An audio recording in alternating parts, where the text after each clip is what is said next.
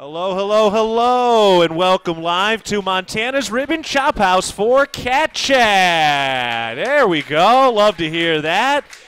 Big loud round of applause for a uh, two win week in Missoula. How about that? Go. All right.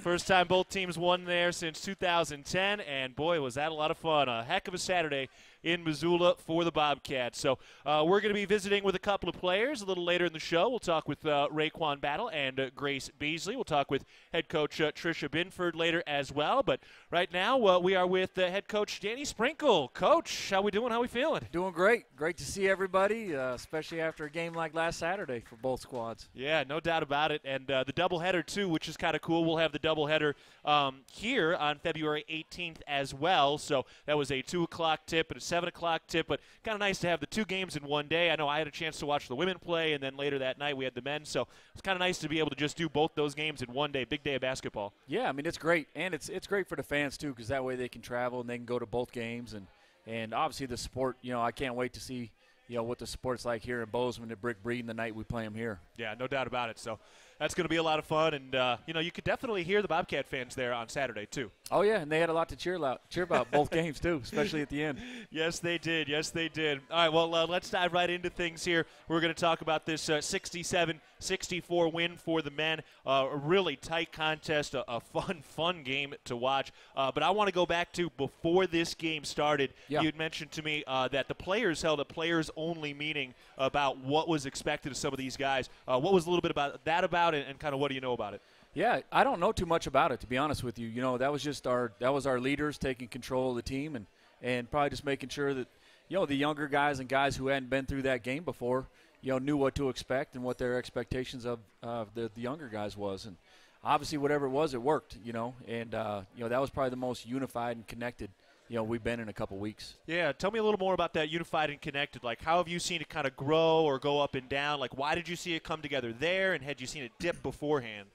Yeah i mean early in the season we had so many new parts and uh, we have so many good players that were trying to find their way and and not only learning new plays and new defensive schemes uh, and not only that, they're different teammates, you know, and we're doing it on the road, uh, which I think helps team chemistry when you're traveling, staying in the hotels, and you know you can't do anything but spend time together. And so uh, it's been a, it's been a work in progress, but you know we have such high character guys, and they get along, uh, and they they really root for each other. It's an unselfish group uh, which is why I think you know the ceiling is very high for this team. Yeah, no doubt about it. Especially after a win like that with Montana State now at 13 and 8 overall, uh, six and two in the Big Sky. Darius Brown had 23 points in this game. RaeQuan Battle, who we'll talk with later, had 18, and Jubrile Belo had 11 uh, in this contest. And you know, one of their stars, Josh Bannon, he's a great player. He leads them in points, rebounds, yeah. assists. One of the really skilled players in this uh, in this league. Y'all held him to five points, seven rebounds on two of five shooting. You guys did a really nice job against Bannon in this game. Yeah, our guys did a tremendous job, and we'd really focused on him, you know, most of the week because he's such a matchup problem. He can play inside or outside, and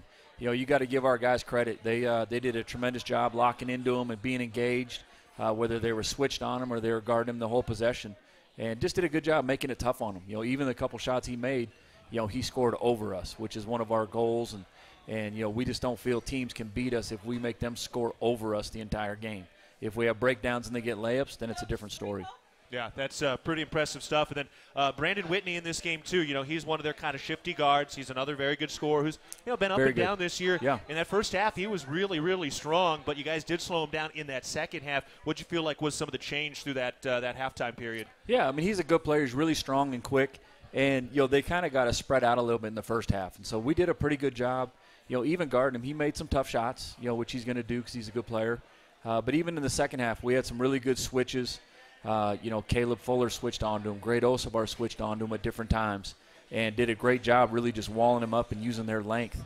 And he didn't look to score over them, you know, because of their size. And so, you know, we're going to have to, you know, figure out some different ways, obviously, to guard him and even Bannon. You know, he's going to be more aggressive when we play him here.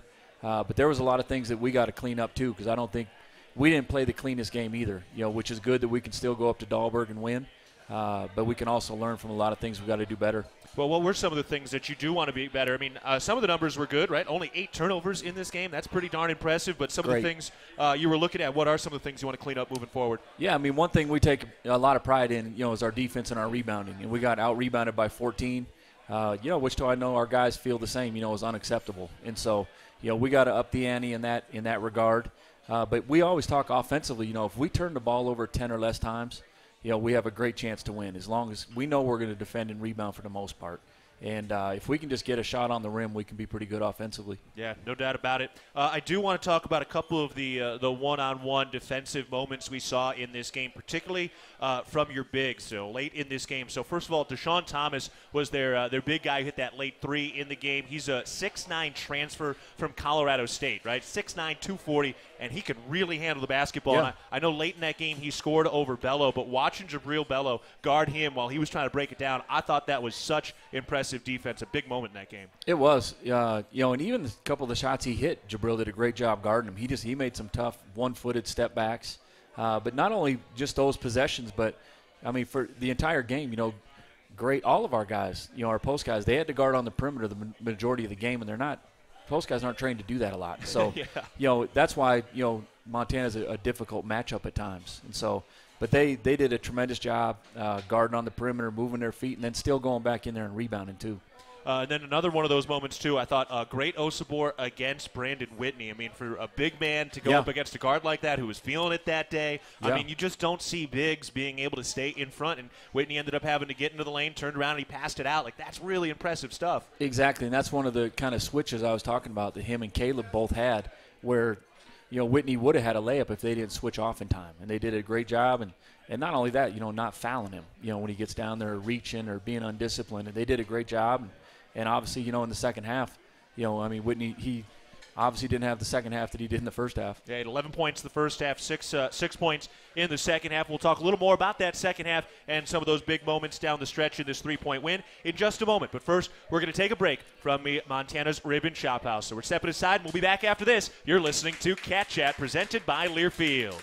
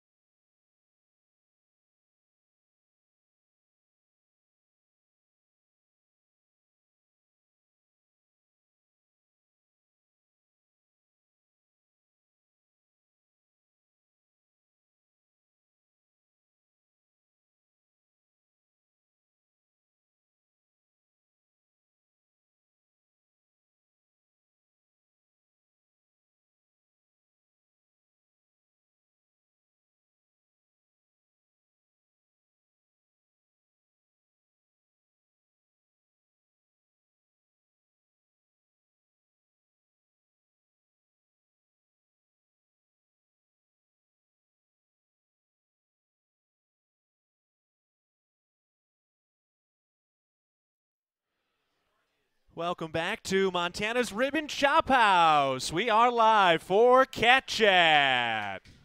All right, we're talking about a couple of wins this week. I'm Keaton Galogly alongside head coach Danny Sprinkle. We're talking about this 67 uh, 64 win in Missoula for the men. And, uh, coach, I kind of want to get into the last uh, five or so minutes of this ball game. Uh, one of the really big key plays in this game came from Darius Brown with about five minutes left. It was uh, a tie game, and he ended up with that steal and the transition bucket. That felt like one of those ones where it was like moment, uh, momentum was kind of building for Montana, and Darius Brown was right there to make a big play.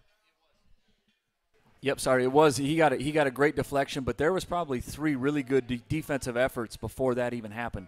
Uh, and Caleb uh, Fuller switched on to one of their guys, and he went baseline, and that's when he tried to wrap it around. And Darius got the steal on the other side, and, and took it the length of the floor, which was a huge. You know, their crowd never really got loud until the last two minutes. Yeah, uh, and there was 6,500 people there. I mean, it was it was packed, and uh, but it was because our guys kept responding, making big plays every time they would make a little run, our guys would make a play like that, and then it would just kind of hush them up a little bit. Yeah, and uh, I mean, even those last couple minutes, and we'll get into some of the details here in a moment. I mean, how much did you feel like that non-conference schedule really prepared you to be able to play in that type of environment late in the game? Yeah, I mean, I think it definitely did. You know, and that's you know we do that intentionally and play in some of those environments. Um, you know, and our guys they just they never wavered. You know, you even the looks on their face, like they just they were always kind of like, okay, well, we'll we're going to score. Like we're good. We'll get a stop when we need to. You know, yeah. but and uh, and it showed. You know, down the stretch, just the poise that they had, and, and a lot of that is Darius. You know, his just his demeanor never changes, and and uh, you know having a floor general out that like that is huge. Yeah, no doubt. Uh, all right, let's get through some of these moments. So, uh, you know, with about 90 seconds left, Dischon Thomas, who we already talked about, he buried a big time three in that game uh, to put them up. And uh, you call the timeout, you draw up a play, and Darius Brown gets that and one to tie the thing right back up. That was a really impressive play. It was. I mean, our last three timeouts we scored out of. You know, he actually scored out of the one even previous with about two and a half minutes to go. Uh, but it was it was a huge play. You know, it was a, it was a ball screen action that we'd ran most of the game, and uh, and they'd been struggling with it. And and Darius made a great read, and he got his guy off his off his feet, you know, undisciplined, and he just went right up and got the end one. Yeah, you could see it. Brandon Whitney was a little yeah. jumpy on that. I mean, yeah. it wasn't much of a ball fake, and he just shot right up into the yep. air. But a lot of it was because Darius was playing so well and shooting the ball so well, and so you know, he had to kind of get up there. Yep. So uh, this was uh, one of those big free throws in this game. Montana State uh, in the second half of the free throw line went 15 for 16 down yep. the stretch. Stretch. Those were the big shots at the end of this game. So uh, Brown ties it up, but Montana, give them credit. They came back. Brandon Whitney had a tough finish in the post uh, and was able to put Montana back up by two. But you use your last time out with 49 seconds there to drop another play um, before the RaeQuan Battle foul and the three free throws. Are you worried about using your last time out in that window at the 49 second mark, or what are you thinking in that moment with using the timeout? No, because I knew how important it was for us to get a clean offensive possession. You know, obviously, you know, being down two, yeah. you know, we had to get something. You know, and I wanted to give our guys some confidence and – you know, we were going to go for a two for one. You know, we wanted to score in the first 10 seconds out of the timeout, you know, and then try and get a stop and then obviously go win that thing. And, uh, you know, which we did. Yep. But it was a huge, it was a huge play and it was a great play by RaeQuan. Right. You know, going into the foul and, and drawing it. We'll ask him about that in uh, just a little bit, uh, uh, in uh, a few minutes. But um, you know, that was one of those ones where he goes right back to the line, and you know, we had talked about it on the show. Free throws had been a struggle early in the yep. year, but how confident were you in RaeQuan when he got to the line in that moment, where it was three free throws to take a one-point lead? Yeah, I mean, I had no doubt. You know, he's he's a clutch player. You know, he's proved it over and over again. You know, even here. You know, but if there's a flair for the dramatic, you know, RaeQuan's going to be there. you know, it doesn't matter if it's a half-court shot a pull up jumper, a dunk, you know, anything like that. And, you know, once he got fouled, I knew we were going to be up by one, and then it was just going to come down to getting a stop. Well, and that was it, right? I mean, hey, we've been talking about it all year. This yep. defense has been one of your best aspects of this team all season long. Yep. How excited were you to know? Okay, we just got to we got to get two stops here, and we're going to be able to put this thing away. Yeah, and it was great because we actually, you know, we guarded them really well, and we guarded them so well they had to call a timeout, right? You know, because they were out of sorts, and they came out uh, with one of their sideline out of bounds plays, and guys did a tremendous job, and they got the ball to Moody, who was hot in that second half. Uh, but our guys did a great job staying in front of him, making uh, Robert Ford actually, and did a great job staying in front of him, making him make a tough shot. Uh, and then got the big rebound. Yeah, Darius did and knocked down the free throws. Yeah, it looked like Ford was really playing some big minutes. Had some he, really huge. big defensive stops in this game again. Had some great stops, you know, and that that's what he does. You know, he's a tremendous defender on the ball, especially. Um, you know, he's just he's strong and he's quick and he's hard to get around. Yeah, yes, he is. So uh, you put that away, you get the stop there, get a second stop uh, against Moody. Brown hit the free throws to clinch it, and that was it a 67 64 win. Uh, you'd won there as a player, but your first win as Yeah. a head coach, that had to feel pretty special. Yeah, I mean it was great. It's always good to win up there, and you know, especially with how important that game is to the people in the state of Montana, and especially Bobcat fans. And uh, you know, our guys just, I mean, showed some tremendous resolve and, and found a way to get it done. Yep, uh, got through the handshake line and then jumped right into Jubrile Belo's arms. Yeah, he deserves it. You know, he's been here. He's been here for four years, and, and he's been up there twice, and we haven't been successful. And uh, you know, there, I mean, he's he's put a lot of blood, sweat, and tears into this program, and so I was, I was really happy for him. No doubt, changing the expectations. So he's two and three against Montana now in his career, with at least one more at the end of the regular season. Yeah. So it's going to be fun to watch that one. No doubt. All right, uh, we're going to take a break, but we got RaeQuan Battle coming up in a moment, so we'll talk to him about those free throws and the victory. Coach, congrats on the win, and uh, appreciate the time today. You bet. Thank you guys for all coming. Go Cats. All right, head coach Danny Sprinkle. We're going to take a break. We're sitting in Montana's Rib and Chop House, and you're listening to Cat Chat presented by Learfield.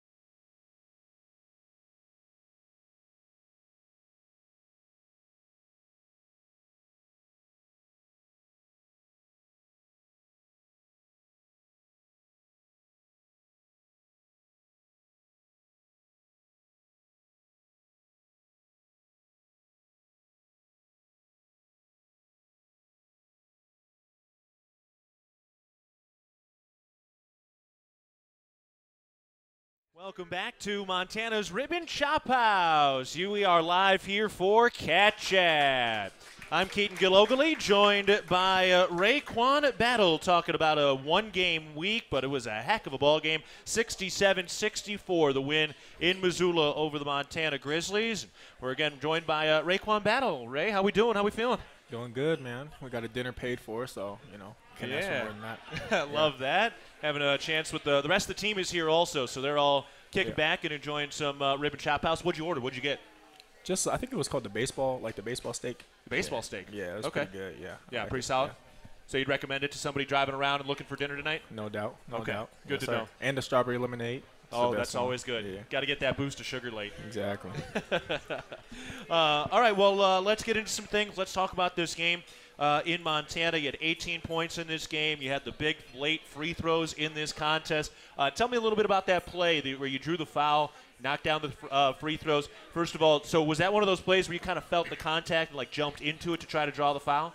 Yeah, um, there was kind of a mix-up during the play. Um, I ended up getting open though because I just sprinted off it, and he was like kind of on my hip, so I felt him. So I just I knew it was gonna be a foul if he was that close to me. Yeah. Especially if I'm rising up, so I just like kind of waited, pump faked a little bit, and you know drew the foul and shooting the free throws. I love that. So that's a, that is a thing. Like, is that kind of one of those like one of those skills where you know a guy is like on you and you can draw a foul in that moment? Yeah, you just gotta have a feel for the game, really. Just Yeah. knowing your surroundings. If he's right on you, it's the perfect time to rise up and draw a foul. Right. Uh, and so, what was it like when you were getting to that free throw line? I mean, how confident were you in that moment? Man, like too confident. Man. I've been shooting free throws for too long to not be confident about it. Uh, and it was fun though. Like every time I'm shooting like big game free throws, I'm always thinking like my mom's gonna be mad at me if I miss these. So like I, I can't miss these right now. Yeah. What else does she get mad about you on the basketball court about? Um, kind of like I have like her attitude Okay. when it comes to playing. Yeah, yeah. So like she'll tell me to knock it off, not show that a little bit, but you know that's a little personal conversation with her. yeah. Yeah. Well, and we've seen that a little bit up and down. We've seen other teams try to goat you a little bit. Yeah. I mean, what's uh, what's it like? Like, how do you how do you try to calm it down? Who's the who's one of the guys in your ear to kind of bring you back down to earth in those big moments when the competitiveness is really really going? Uh, I would say Jubrile. Yeah. Yeah. Jubrile's like me, and he's like my best friend on the team, really. So, um, you know, he'll calm me down every time. He'll cut, he'll put me in check, really. So he's like a brother on the floor. All of them are all brothers. Like Darius, he's a point guard, so he kind of controls the whole team. So he'll come to me as well, like, yo, chill out, dude. Like we we can't afford nothing, you know. So just keep your head straight, and you know that helps me a lot. Yeah, yeah. Hey, man, it's a it's a, an emotional game. Everybody wants to be their best, and I know teams are going to want to come after you because you're the best. You know, you're you're scoring more points than anybody else. Yes, sir. uh, well, let's uh, let's uh, tell us a little bit about uh, Darius Brown. I mean, obviously he's had a tremendous season. What did you see in his game? I mean, the 23 points in this game against Montana. So much fun to watch him go to work. What stood about out about his performance on Saturday? um, just him being able to space the floor, like Darius Brown, really that man. So like he could he could shoot the three, he can get downhill, he can get the mid range. Like it's all of it's kind of what I do, but in the point guard. You know, Yeah. like he's a point guard, he's able to pass it as well. So it's dangerous when the ball's in his hands. Yeah, no doubt. I mean, he's a true three-level scorer at this point. Exactly. Yeah, you don't get too many of those. Uh, what was it like when he first got here? I mean, it, it takes a while for a point guard to get used to his new teammates, understand the leadership role. So, you know, what were what were your first impressions when Darius first got here? Um, I didn't really have an impression, kind of like we, like everyone on the team, kind of clicked. Like Yeah. it's his personality that kind of get like puts him in the point guard form. Like his personality is just, you know, he's outgoing, he's funny dude, so like he can he can kind of take all the attention in the room, you know. So for him to be like leading our team, that's the perfect person to do it. He can draw so much attention and then kick it to the corner to me or Tyler or somebody in, in the corner. So Yeah. Yeah. Uh, was it was it kind of quick in the way he he stepped in that leadership role, or did it take a little bit of time? Um, definitely a little bit of time. You know, we had to uh, lose a couple games here early on. You know, so it wasn't good. Like we all had to figure out what our really our role was when it comes to being like a new team that we have this year. So Yeah. yeah. When did you feel like that started to come together? Ooh, great question. Um, I mean, I've got a date in my head.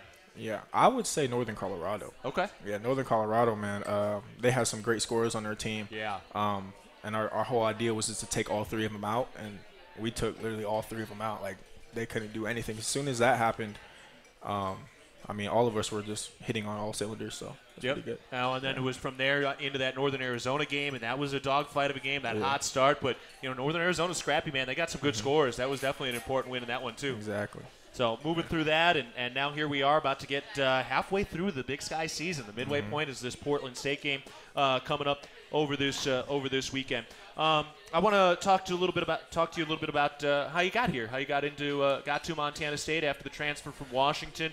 Uh, What were some of the conversations like with Coach Sprinkle? Like what was what stood out, and what do you remember about those conversations?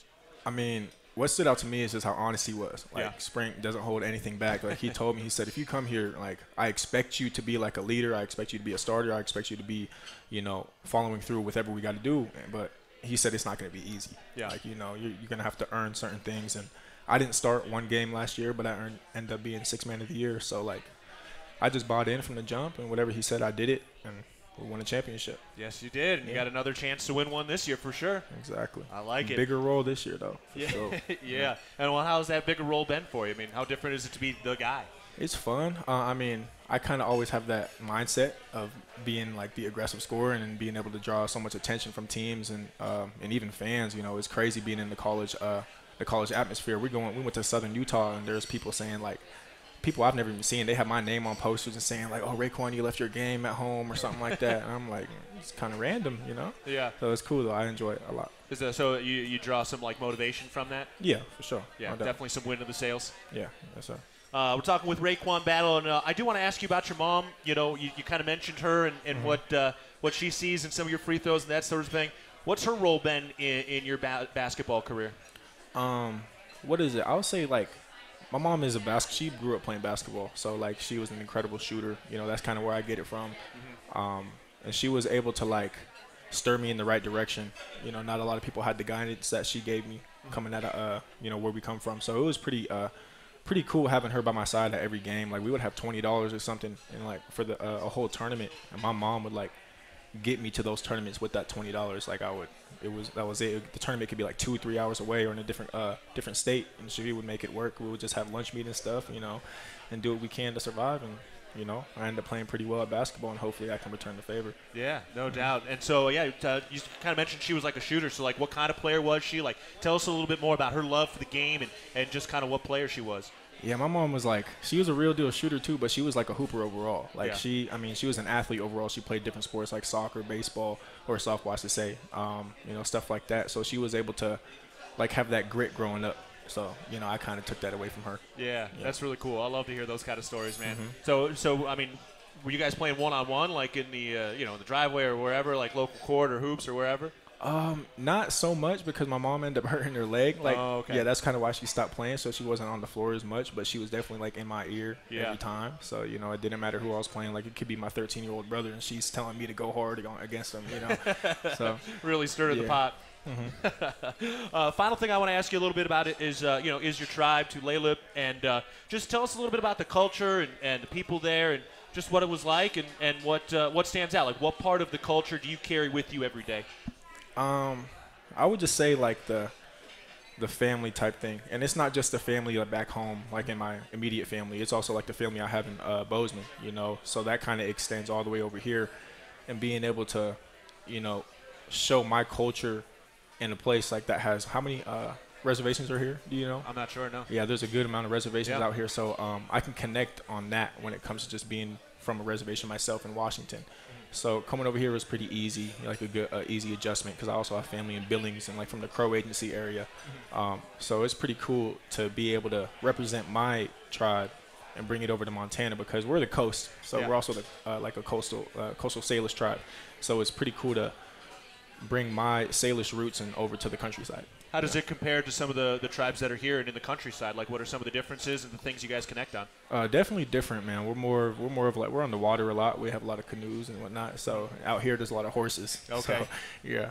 So Yeah. it's a it's pretty uh, not a big difference, but there's a difference in there. Yeah, but it's got to be nice to be able to kind of meet other people and, and dive into those differences and the nuances and just be able to have those types of conversations. Mm-hmm. Exactly. Yeah, and, and you know, I don't know. There's been uh, there's been a number of people who have come from tribes, Native Americans, who have played at Montana State Mm-hmm. at the University of Montana. Was that uh, a part of your decision to come here at all, or was that just kind of more of a coincidence? Um, yeah. It, I mean, I had options, but I would say it definitely was a coincidence because this is the place I would have chosen. Like if they were the first ones to like come to me, just Yeah. because of their pitch was. Uh, I like their pitch from like considered from other teams and stuff. Their pitch was way better than Yeah, you know, from other like a teams. basketball standpoint. Yeah, exactly. and not just that, the cultural standpoint too. Like, what drew me in was the fans. You know, the fans are amazing. I love them. Everywhere I go, like, like there's always I'm taking a picture, you know, signing something, or they are off when to buy me some food or something. And, you know, I just love it. So Yeah, that's fun. cool, man. It's uh, it's amazing how much uh, Bobcat Nation and Cat Country really travel around Mm-hmm. the country and support you all while we're out on the road. Exactly. Yeah, that's uh, it's pretty cool stuff. So you hear that, fans? We hear you, and you are some of the people Mm-hmm. Sure. that are bringing great players like this into Bozeman. Is that right? Mm-hmm. Love that. Well, RaeQuan, this has been so much fun to watch you work this season, continue Yes, to sir. grow, and I know uh, we've had some great memories so far. and We got some great ones coming up, no doubt. Yes, sir. No doubt about it. All right, Yes, sir. Battle, appreciate that time. Guys. All right, we're going to take a break, and uh, when we get back, there was another win in Missoula. That was on the women's side. We'll be talking about that with head coach Tricia Binford after this timeout. We're sitting in Montana's Rib and Chop House, and you're listening to Cat Chat, presented by Learfield.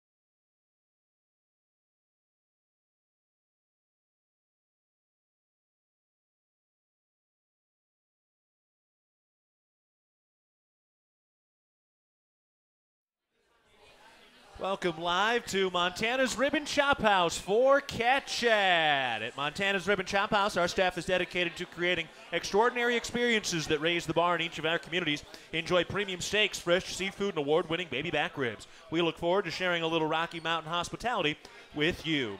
I'm Keaton Galogly, joined now by head coach Tricia Binford. Coach, how are we doing? I'm doing great. Yes. Heck of a week, the, the one game week. So always a, a, little bit different with the one game week, but I'm sure emotionally it can feel like two games. It sure does. But uh, what a great job by the men's team and uh, for both teams to get the sweep over the weekend. And uh, yeah, now you got to turn the page and get ready for the, the week ahead. Yes, no doubt about that with uh, with Portland State and Sac State coming up at home. So uh, if you're here in Bozeman this weekend, uh, make sure you check that out. So Thursday at 7 o'clock and Saturday at 1 o'clock against Portland State and Sac State. And uh, you know, how do you like the uh, the the doubleheader? Do you like it when it's the the two games going like that the same day on the same court? I do. I would love if they would get them a little bit closer together because okay. it'd be nice to stay and support the men and uh, uh, at the same time, when we get home, we're probably catching that second half. And uh, yeah, and talking with Danny, I think he'd be up for that as well. It's a long day for the men to wait. yeah, it is. Uh, and uh, so, so were you guys able to catch any of that game on the bus? Like, where were you guys when, Yeah, uh, we- pretty much watched all of it on the bus, and uh, I think we once we got dropped off, the last on our you know small phones uh, when we were driving home was when RaeQuan, RaeQuan was uh, hitting the free throws. So uh, great job uh, by the men finishing uh, with style, right? Yes, love Get everybody style. on the edge of their seats. Tons of style points in that Yeah. game for sure. Um, yeah, that's always fun when the uh, when the whole bus is kind of locked Oh, in and you hear everybody cheer, cheering Yeah, all through that. awesome. Yeah, that's a lot of fun. Well, all right, let's talk about your game. We've talked about the men enough. Women win this one 72 uh, 63. And, uh, you know, that, that first half, man, that was a dogfight. That was back and forth. Uh, tell me a little bit about that first half and just kind of what you saw in those first 20 minutes. Yeah, I mean, we did a great job. The kids came out right from the stretch, uh, really focused, locked in uh, on the on the scouting report. I thought they did a great job containing penetration, and uh, really it was the three ball that was giving us a, a little bit of havoc. And it was uh, the Grizz bench uh, came in and, and hit some big shots for them, and. Uh, but at the same time, we felt like we were battling. We, we kept uh, going into huddles on a couple of uh, key elements, and you know, just we we continue to have kids rotating in and giving us a big spark. Grace being one of them, who's here with us tonight, and uh, just really liked how things were going uh, on the defensive end, from keeping the ball out of the post play, just finishing plays, and really just had to address that three ball at halftime. Yeah, uh, you know, we'll talk with Grace Beasley here in the next segment, which will be a lot of fun. But she had a couple of amazing passes, especially in that first half. That overhand baseball pass from like the backcourt right wing all the way underneath the cup. That is something special to be able to see a pass like that. Yeah, my husband was telling her he's already seen it three times on ESPN Plus, watching the replay. But uh, uh, you know, one of the remarkable gifts that she has, she just has tremendous vision. She'll find you anywhere, and, and she was just telling us at the table that she was talking to Leah about, hey, she's you can cut behind her, and and, and I'll find you, and she'll find you. So sometimes uh, you might not be looking, you better have those hands up because she's she's gonna make a great pass there. Yeah, And it's going to be on the money. So if you don't have your hands up, you're going to get hit. Absolutely. yeah, John Stockton said, you know, uh, hit him in the back of the head one time, they'll have their hands up next time. Yeah, I like it. think that's a pretty good tip. Now, on the defensive side, you guys did a great job against Carmen Gfeller in this game. She picked up two fouls in the first five minutes. What'd you guys do, and how were you guys successful against Gfeller in this game? Well, defensively, we really wanted to keep it out of the post play. They're very efficient once they catch there, and I thought the the opening possession really set the tone for us. Uh, we had shown them some clips of where we could be disruptive, and uh, the very first possession, Lexi was able to get a steal sneaking around, and so that set the tone. It, we um, uh, congested a little bit, made it difficult to get there. Uh, Lexi does what she does best, and that was uh, disrupting. But then Kola got matched, Taylor matched uh, as well. Our entire post play that was one of our, our best post defensive performances as a group all year. And, you know, we were talking to Fast Break today. You know, you got to pick your poisons. Uh, sometimes when you take something else off the board, it's going to open up uh, a little bit from the perimeter. But we really addressed the post play being a key element to take away. Yeah, no doubt. I mean, Lexi Deden in this game. Uh, Daniel Sally called her on the uh, on the podcast, the Bobcat Insider podcast this week. Uh, she ca- called her the uh, agent of chaos, and I feel like that was really, really apt for what she was doing in the post Absolutely. in that game. Yeah, you know, um, uh, somebody asked uh, in the media after that game about, you know, she wasn't hitting her her shots uh, like she has been down the stretch, but there's so many other things that she's impacting the game with, and one of those is, uh, you know, her areas of making entries a little bit more difficult. You might be entering it to the elbow, and she gets you to catch it a little bit further away. So now they're out of a rhythm uh, situation, and the same goes for you know her on the offensive end. We we got pushed away. Uh, they, to credit Montana's credit, they did a good job uh, pushing our post uh, away from catching it where we wanted to catch it. But both Lexi and Kola were following shots and getting some second opportunities and rebounds, and those are the extra possessions that are going to make a difference uh, down the stretch. And whether you're finishing on that win win column or loss column, and Lexi does that all the time. Yeah, I know. I, you know, you look at the numbers, and she went three of twelve from the field, but it felt like all three of those shots that she hit were really high degrees of difficulty in that game. And you know, some of them were those second chance opportunities, but felt like her finishing ability, even if it was only three, those three were really, really difficult. For sure. You know, they did a great job too. They knew that we want to go through our post play, and, and so it was congested for us as well. And so you had to find some other factors, and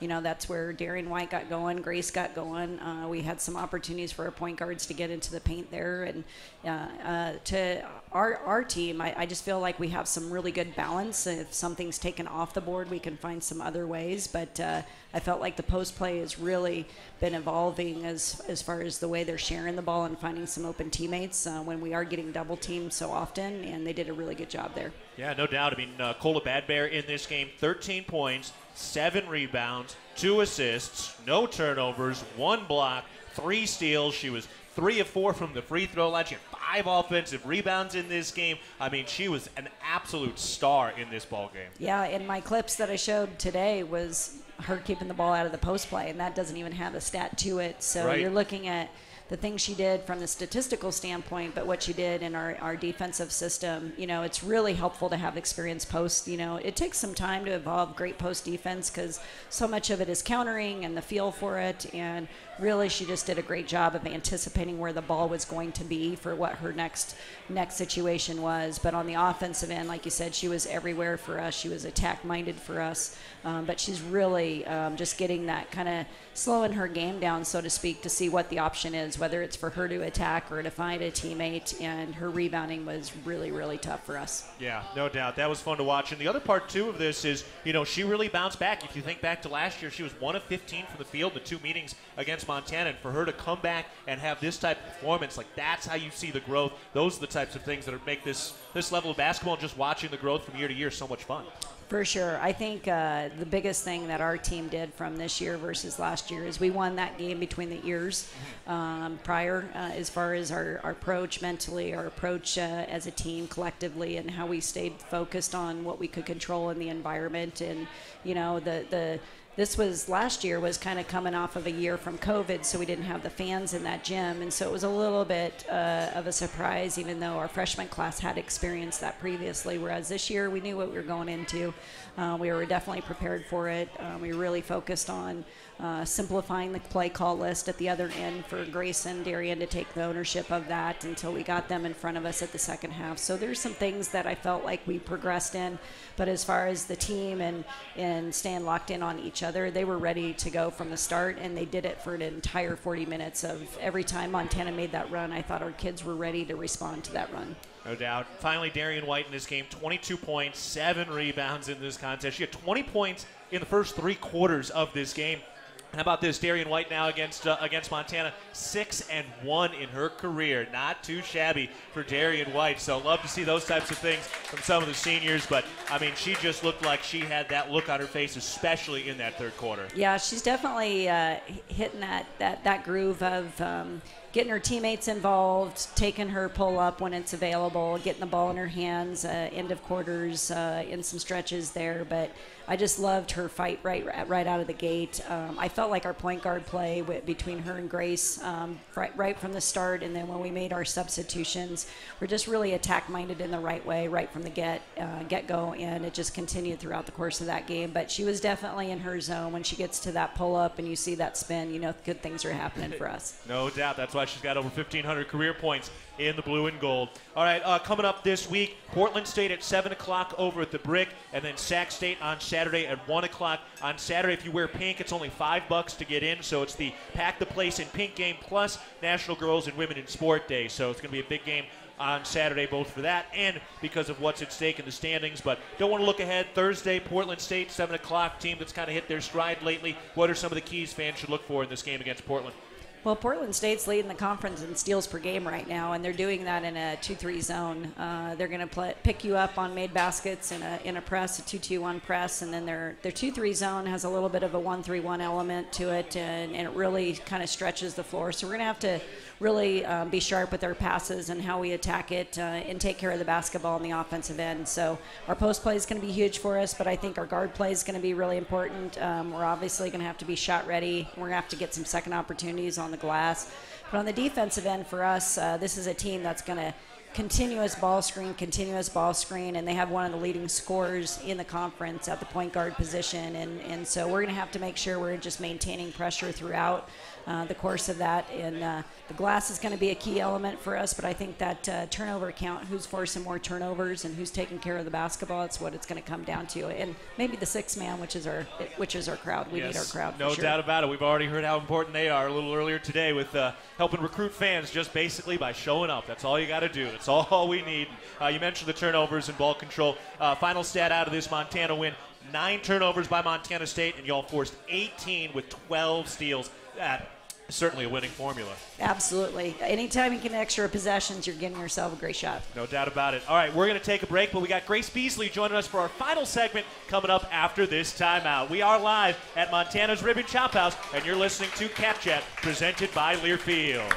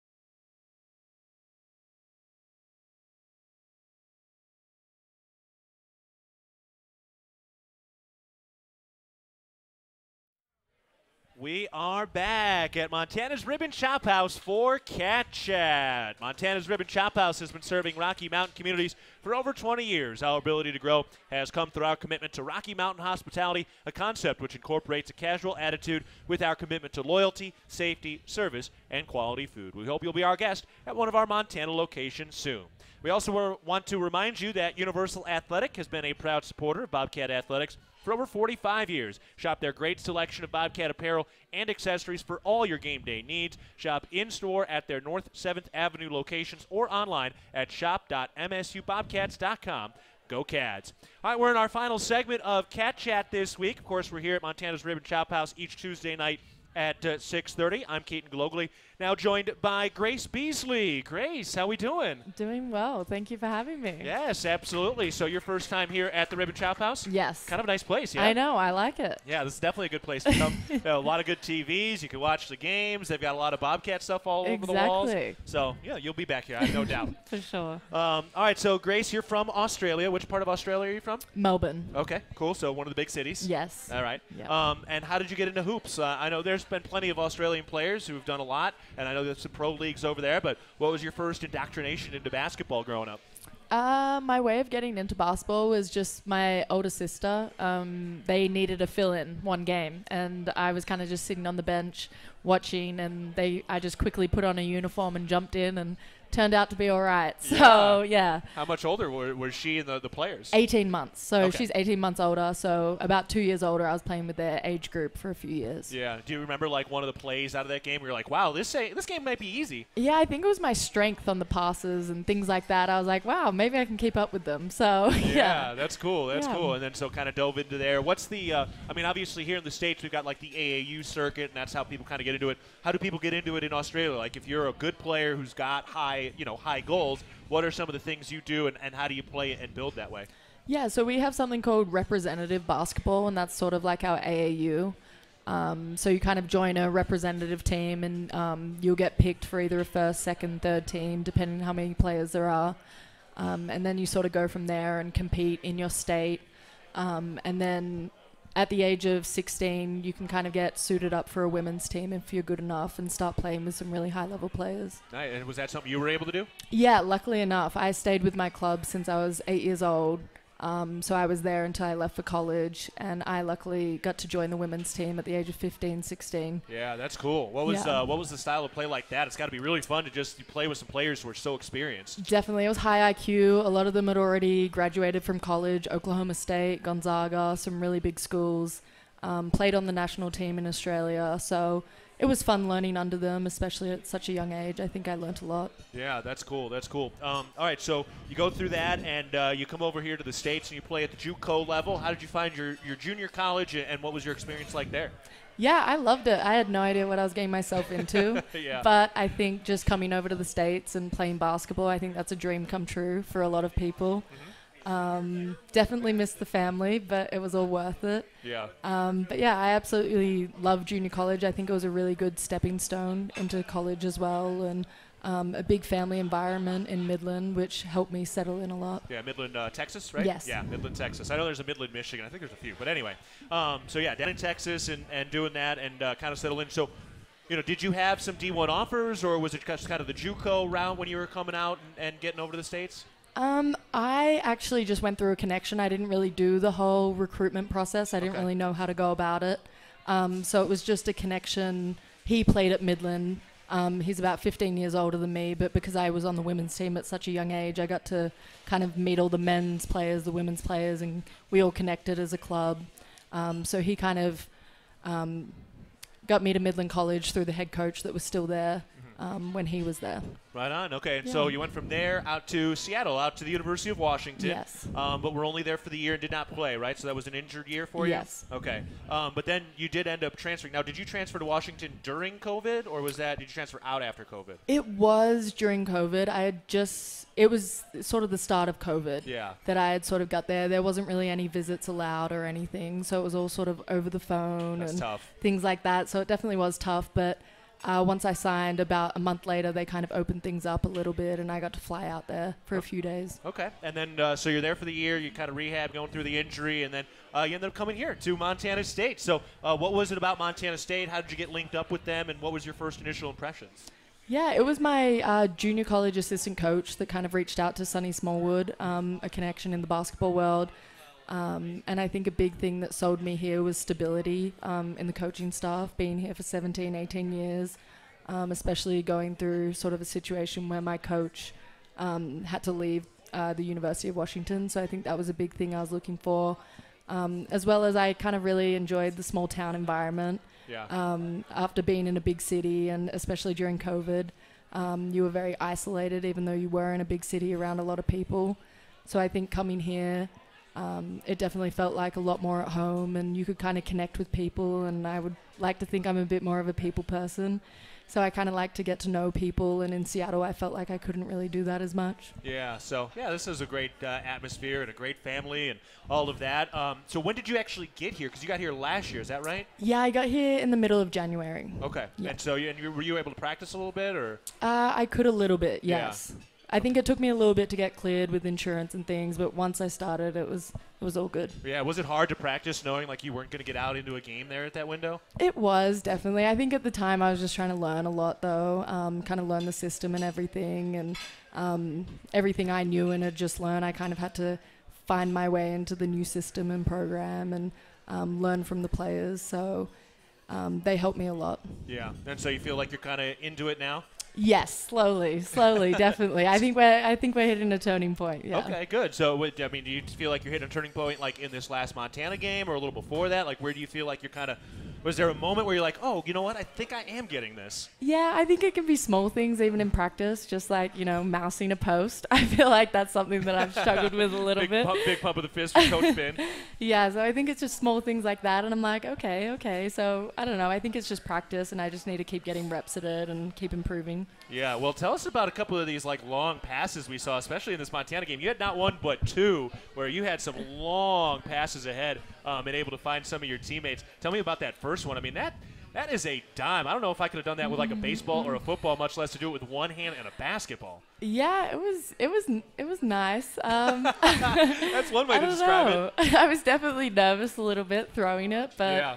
Um, yeah, no, I kind of saw an opening and I told Leah just before the play had started, I was like, Leah, she's not guarding you. And I think, you know, I had a lot of trust in Leah to catch that pass as well. So knowing personnel and knowing Leah, like, she's definitely a very athletic player that can get that pass. Yeah, I don't know. I got two bricks instead of hands. I might have been able to catch that pass. It was right in there. Um, but so that's interesting that you say that. Um, you know, it was something you saw before the play, like you had seen something kind of open. So yeah, that that that kind of pass is something where you know it, it was almost a little premeditated. Yes. Yeah, that- Definitely. Okay, that's uh, that's cool. Now, do you practice that? Like, are, are during practice, are you like, okay, I want to work on some of my longer passes? No. Okay, so that's more natural than anything. Yeah, a Yeah. bit more of a natural read, I think, and just I don't know. I think the game was kind of just flowing, and um, I felt pretty confident with it. Yeah. Um, and yeah, once I saw it, I kind of thought it was open. yeah, and it certainly was. uh, tell us a little bit about that environment too. I mean, obviously we're going to have an environment similar to that. Um, you know, great crowds here year in and year out, and throughout the throughout the season. Obviously, it's going to be a massive moment here on February 18th when we get the doubleheader against the Grizzlies again. But I mean, had you played in an environment like that before when you when we were in Montana? Um, I don't think so. Maybe back home in Australia, um, Okay. but definitely probably not in the states. Um, so that was definitely a very cool experience. Um, the girls and everyone were definitely prepping me for it. Yeah. So they were definitely in my ear telling me, and I think the week leading up to that game, we were sort of trying to find out signals and things like that, um, just in case we couldn't hear. And um, yeah, but it was definitely um, a great experience, and I feel very lucky that I got to play in it. Yeah. So some of the crowds in Australia were that big and, and that kind of that rambunctious. Definitely, yeah. When it becomes finals time in Australia, I definitely think fans start to roll in a lot more. Yeah, that's cool. That's always fun, man. Especially when you get a chance to play in front of crowds like that. Exactly. Well, I have no doubt you'll get some more this weekend against Portland State and Sac State, and of course, again for the uh, the doubleheader brawl, the Wild coming up on February 18th. Grace Beasley, thank you so much for joining us today. Thank you. All right, Grace Beasley. Thank you to Grace. Thank you to head coach Tricia Binford. Thank you uh, to Danny Sprinkle and RaeQuan Battle for joining us today as well. And Will Gordon is our producer. And finally, a thank you to uh, Rib and Chop House. This is Keaton Galogly saying so long and go Cats.